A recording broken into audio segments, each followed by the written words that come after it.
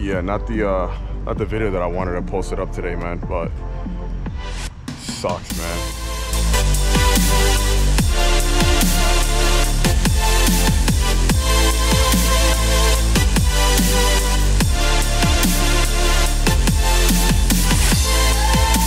I, I, literally just finished doing a video on the FXR talking about uh, you know old bikes and pros and cons and everything and and this happens. Uh, and I'm at I'm out of breath right now because I, I literally went down and I, I fell right on my ribs. Um, I'll, I'll show you guys the bike right now. I'll show I'll tell you guys what happened but uh, so we got damage right here on the fairing. Um, a little damage right here on the mirrors clutch the crash bar took most of the fall right there so thank god i had this crash bar otherwise this fairing would have just all been gone um,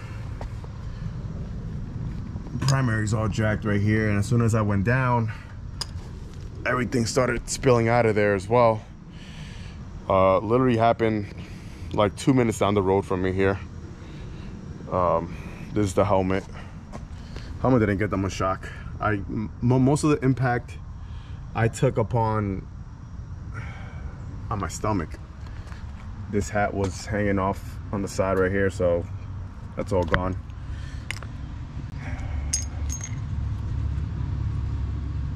This clutch peg right here came off. This is the sweater I was wearing show you guys the left side because I got a I got this scrapes right here not that bad so I'm happy.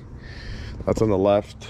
We got a little nothing much. This this is this is actually nothing like I think I'm more I'm more upset about the bike than anything else. The sweater honestly like it's it's good. It has like a little pinch right here. This is actually a I'm not even trying to plug him in, but I'm, I'm just trying to show you guys what I was wearing right now.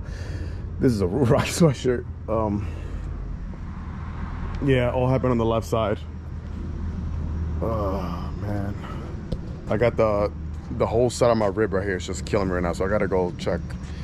I'm going to the doctor and. I'm gonna check myself, but I'm pissed, man. I was I literally was going 20, 25 miles an hour, if anything.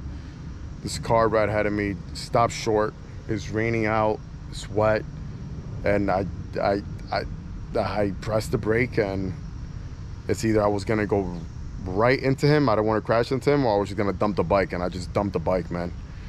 Flew off the bike, landed on my on, on the side of my rib right here, spun around, and I got right up. No, I was not filming, so there's no footage of that but it just it just sucks man i got I, I literally just got this bike two weeks ago i just finished filming a video talking about hey got this bike two weeks ago this this is what to look for when you have an old bike they're they're never going to be running perfect and look now i mean it, it, there's no huge major damage which is fine like this is paint job right here we get that easily fixed new primary cover i don't i don't care about that that's that's nothing Oh man, it's just the fact that now I just gotta uh, add more onto it. Damn, ribs are killing me, dude. Like I, I, really hope I don't have like a fractured rib or something. As soon as I got up, I thought it was I thought it was way worse. I thought the I thought the bike was really bad from the sound that it made. I mean, every anytime you go down or any type of car accident, everything sounds super loud. But like I said, every everything was taken upon with the uh, the crash bar took all the hit right here. So I always say, man, I always tell people, yo, like, have a crash bar on your bike, man, because it, will it'll save everything. This, this right here, that's minor, man. That's minor. Uh, I, I'm just upset, man. I'm just. Uh, my GoPro mount broke little stuff all little stuff but it's like why you know